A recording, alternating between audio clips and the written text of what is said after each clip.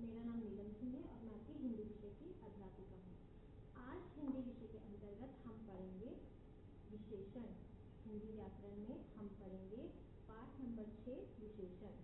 पाठ शुरू करने से पहले समझते हैं कि विशेषण क्या होता है। ठीक है? अच्छा जैसे कि हम एक उदाहरण लेते हैं। खेल के मैदान में या आपकी क्लास में या घर में, ठीक है? चार पाँच बच्चे इकट्ठे बैठे हैं, ठीक है? टीचर या मम्मी उनको बुलाती है, ठीक है? आपको बोलती है कि उसको बुला के लाओ। तो आपका प्रश्न क्या होगा? किसे बुला के लाओ? क्योंकि आपको तो पता ही नहीं वहाँ पर तो चार पाँच बच्चे बैठे हैं, ठीक है? तो आप, मम्मी बोलती है कि जाओ, जो जिसने पिंक फ्रॉक पहना है, ठीक है? पिंक फ्रॉक, गुलाबी फ्रॉक पहना है। तब आपको किस शब्द से पहचान हुई? गुलाबी फ्रॉक से पहचान हुई। इसी प्रकार से अगर कक्षा अध्यापक किसी बच्चे को बुलाता जाइए उस बच्चे को बुलाकर लाइए। आपका प्रश्न फिर वही हुआ किससे बुला के लाए? क्योंकि वहाँ पर तो बहुत बच्चे हैं। तो टीचर कहता है कि वो जो सबसे लंबा है तो लंबा शब्द।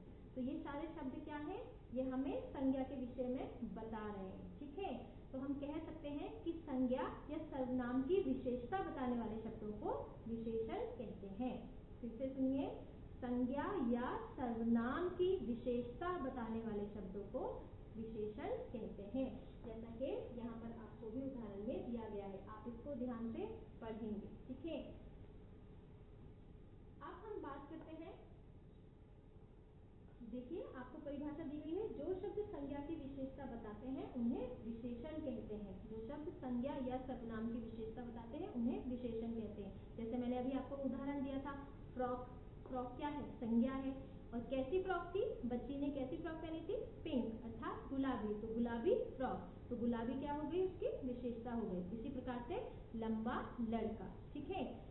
अब हम पढ़ते हैं विशेषणों के प्रकार। इसके कितने प्रकार होते हैं? तो विशेषण के गुणवाचक विशेषण, संख्यावाचक विशेषण, परिमाणवाचक विशेषण और सार्वनामिक विशेषण। विशेषण के चार प्रकार दिए गए हैं। पहले हम समझते हैं गुणवाचक विशेषण। गुणवाचक विशेषण क्या होते हैं? वो शब्द जो हमें किसी संज्ञा या सर्वनाम की गुणों के बारे में बताता है। जैसे यहाँ देखिए, हमारी कक्षा के विद्यार्थी पिकनिक मनाने पुरानी झील पर गए। छोटे बड़े सब विद्यार्थी रंग बिरंगे कपड़ों में बहुत सुंदर लग रहे थे। वे सब बहुत खुश थे, ठीक है? तो यहाँ पर जो पुरानी, ये किस किस चीज़ के बारे में बता रहा है? समय के बारे में। छोटे बड़े किस चीज़ के बारे में बता रहा है? आकार, ठीक है?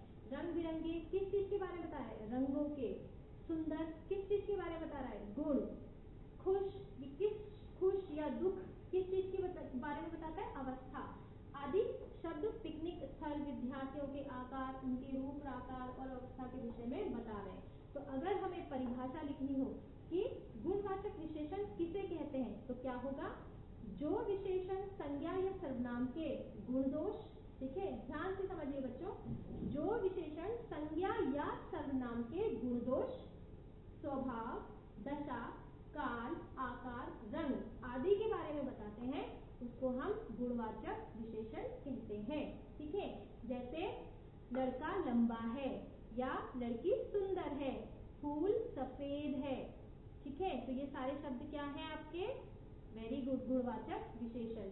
दूसरा आपका आता है संख्यावाचक विशेषण। जैसे कि इसके नाम से ही हमें समझ में आ रहा है, इसमें क्या निर्धारित होती है? संख्या निर्धारित होती है। जैसे, देखिए, खेल के मैदान में सात बच्चे दौड़ रहे हैं। एक उदाहरण है, खेल के मैदान में कितने बच्चे हैं? सात। तो सात जो है, वो क्या है? वेरी गुड संख्यावाचक विशेषण, ठीक है? बहुत से दर्शक भी उनका उत्साह बढ़ाने के लिए मैदान में मौजूद हैं। बहुत से, ठीक है? दूसरे, तीसरे और स्थान पर रहे, ठीक है? जिसमें राम, श्याम और मोहन कर्मशा पहले, दूसरे और तीसरे स्थान पर रहे। ठीक है, पहला, दूसरा, तीसरा, जैसे आप कोई प्रतियोगिता करते हो तो उसमें फ़र्स्ट सेकंड थर्ड आते हो ना? तो ये सब क्या है? ये संख्यावाचक विशेषण है। जैसे अगर हम कहें राम प्रथम आया तो प्रथम जो शब्द है वो क्या है? विशेषण है, ठीक है? तीसरा है आपका परिमाण वाचक विशेषण। बच्चों, ध्यान से सुनिए, ये परिमाण विशेष विशेषण है ना कि परिणाम। परिणाम नहीं है, परिमाण। परिमाण का अर्थ होता है मात्रा ठीक है मात्रा बताता है। जैसे, देखिए, प्रत्येक व्यक्ति को दिन में कम से कम चार लीटर पानी अवश्य पीना चाहिए। तो जो वाक्य है, इसमें चार लीटर पानी अवश्य पीना चाहिए। इसमें आपका जो परिमाण वाचक विशेषण है, वो क्या है? चार लीटर। इसी प्रकार से मम्मी ने बाज़ार से एक मीटर कपड़ा खरीदा। तो मम्मी ने कितना कपड़ा खरीदा?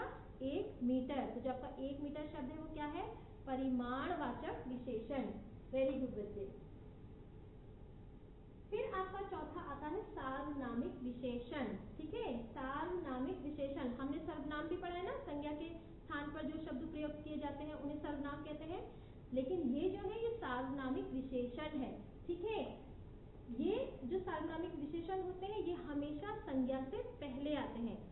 सर्वनाम का क्या था? सर्वनाम का अर्थ क्या था? कि वो संज्ञा के बदले प्रयुक्त किए जाते हैं, संज्ञा के स्थान पर प्रयुक्त किए जाते हैं। लेकिन जो ये सार्वनामिक विशेषण होते हैं, ये क्या है? इसकी पहचान हम कैसे कर सकते हैं? ये संज्ञा शब्द से पहले आते हैं, ठीक है? यहाँ पर एक उदाहरण देखते हैं। इस बाग के ये फल बहुत मीठे हैं। तो ये आपका बाग जो शब्द है, वो क्या है? संज्ञा है। तो देखिए, संज्ञा शब्द से पहले कौन सा शब्द आया? इस। तो ये क्या है आपका? सार्वनामिक विशेषण। इसी प्रकार से यहाँ पर फल। फल क्या है आपका? संज्ञा। तो संज्ञा से पहले कौन सा शब्द आया? ये। तो ये आपका क्या है? वेरी गुड ये आपका है सार्वनामिक विशेषण। इसी प्रकार से उस वृक्ष पर कोयल फूक रही है। तो वृक्ष आपका यहाँ पर हो गया संज्ञा। अब मैंने जैसे बताया था, संज्ञा से पहले आते हैं सार्वनामिक शब्द। तो ये क्या है आपके? उस। तो उस जो है वो आपका सार्वनामिक विशेषण है। ठीक है? इसी प्रकार से सार्वनामिक विशेषण के यहाँ पर कुछ और उदाहरण भी दिए गए हैं। जैसे देखो, मेरी किताब। किताब आपका संज्ञा है। किताब से पहले क्या आया? मेरी। तो मेरी आपका क्या हो गया? वेरी गुड सार्वनामिक विशेषण। ठीक है? किसके कपड़े? किसके? तो ये क्या है आपका? कपड़े आपका संज्ञा है और ये आपका सार्वनामिक विशेषण। इसी प्रकार से तुम्हारा घर। तो घर क्या है आपका? संज्ञा। संज्ञा से पहले कौन सा शब्द आया? तुम्हारा। तो ये आपका क्या है? सार्वनामिक विशेषण, ठीक है? इसी प्रकार से हमारा देश तो देश क्या है आपका? संज्ञा शब्द है ना? और हमारा क्या हुआ? वेरी गुड सार्वनामिक विशेषण, ठीक है? आप इनको बच्चे अच्छे से इसका अभ्यास कीजिए ताकि आपको ये जो विशेषण है, ये भली भांति ज्ञात हो जाए, ठीक है? देखिए, हम ये इन पॉइंट्स को ध्यान में दे सकते हैं। विशेषण संख्या की संख्या, गुण आदि विशेषताएँ बताते हैं।